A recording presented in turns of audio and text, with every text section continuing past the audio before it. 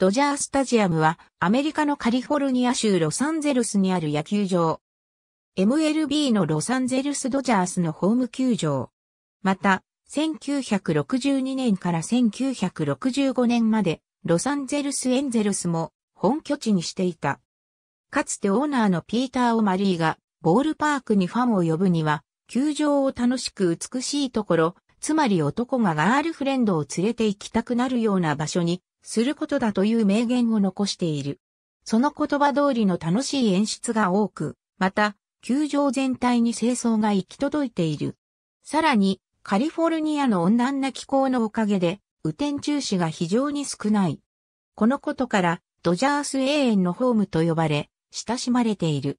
1990年代以降、MLB で珍しくなった左右対称の球場。外野やファウルグラウンドが比較的広く投手から投手有利と評されている。ドジャースタジアムのフィールド改修工事でファウルグラウンドを狭めてからは、この傾向が弱まり多少は打者有利に働くという状態にはなったものの、依然として投手有利と評されている。晴れた日のデーゲームは、ロサンゼルスの乾燥した空気と日中の暖かさのため、ナイトゲームと比較して打球が多少伸びる傾向にあるが、ナイトゲームでは、ロサンゼルスの昼夜の寒暖差が大きいため、日によっては、霧が立ち込める場合もある。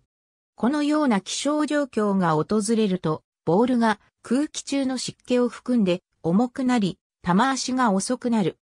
さらに、中堅から本塁へ向かって吹く風が打球を押し戻すことも手伝い、本塁打が出にくい傾向にある。ありがとうございます。